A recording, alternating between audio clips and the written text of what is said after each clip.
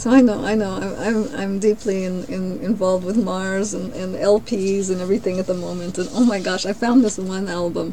It's the Misty Miss Christy. Okay, now here she is. Now I say that in a funny joke because I don't know. In the in the in the olden times, we used to use these words, um, gay, like in, in jest and fun. So here is June Christy sings some sad songs and gay songs. So it, it's just kind of interesting because there she is. She's on the where is she? She's on the cusp, the cusp moment of when uh, lesbian women just just had their breakout. You know. So there she is. She's Miss Misty Christy, still using the word gay. Where is she? She is something else, isn't she? Yeah. So she's kind of like um. Uh, yeah, what, what, what does Spoke speak? It's almost like the last of the era that was allowed it, you know, and I'm, I'm holding the album. Oh my gosh. so, but the question is, you know, um, that, uh, yeah, wow, it just went, didn't it? They were all of a sudden allowed to be gay the other way. So, um, interesting. The Misty Miss Christy. But um, back to back to the element form. Uh, yeah, uh, brain chemical, and very possible that here's Misty Miss Christy and all of that. You know, the right combination uh, of those um, of those brain brain chemicals, and uh, maybe uh, maybe she really was gay. You know, you never know. You know, maybe it really is. You know, just exactly that combination. You know, you might find in certain areas of the world more gay men or more gay women, depending on, on the foods, uh, the original, the originations of the foods, you know. I don't know. So anyway, so I'm really stuck on soil right now. I'm really stuck on soil and Mars being a potent uh, soil overtake. Like if you gave a dish a spoonful of, of Mars uh, dirt, um, uh, to someone, I really believe um, it would be a heady, a heady elixir um, that would hurt. That would actually actually hurt their brain. Um, make them so different emotionally, um, possibly even physically, but uh, but more emotionally, more on a, on a on a temperament level in the brain. So, so with with this little, what do we call this little joust of my theory? I love theories, but yeah, this little joust of my theory goes with how much are we actually getting from Mars on a daily basis? Are we getting float rock, a medium? You know, is it actually just you know peeling off, and are we getting uh, little bits of what do you call those astral showers? You know. So when when we meet up with someone, you know, that is just a, a cold beast, a cold-hearted beast, that just really doesn't care if you live or die.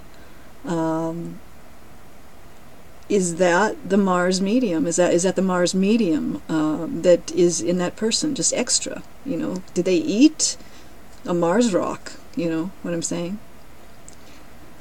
So, and and I know, and I, I know we can all tap into that ourselves. We can all tap into that ugly energy um, very easily and and it, it shocks me how I am capable of tapping into that energy. It very much shocks me, but um, yeah,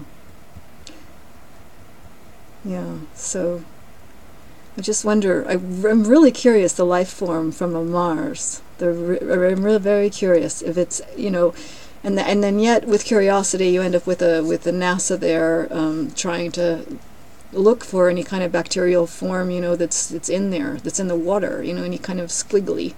Because if there's anything in there moving around, you know, what is its reaction with life form squigglies here on the water of Earth? You know, it, does it fight and kill it immediately? I mean, is it that going to be that reactive? Is it going to be a mean, mean killer? Or is it just going to just go with the flow and, and be friendly? You know, is it a, is it a, is it some kind of a what do you call it, an amiable uh, type of a deal. Yeah.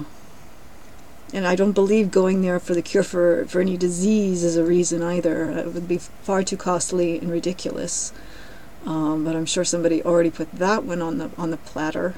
Well, we have to go, you know. yeah, sure. meanwhile, meanwhile, they you know they still you know haven't dealt with the Amazon rainforest properly. You know what I'm saying?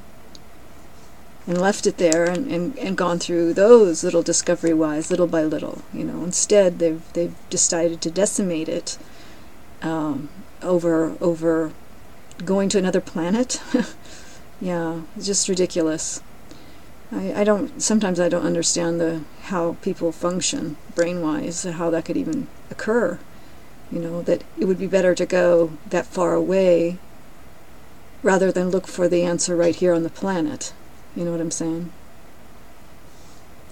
Just pockets, money, money pockets, and where they're spent. I guess that's all it is, you know. And maybe it is a, even a racist, a racism deal. You know, why why go down there? You know, maybe it's just people that only want to speak English, or people only want to speak Chinese. You know, maybe it's something like that. You know, I don't know. So, anyways, I'm kind of excited, kind of excited about on Mars, and um, yeah, very very cool. It's very cool. However, I don't know.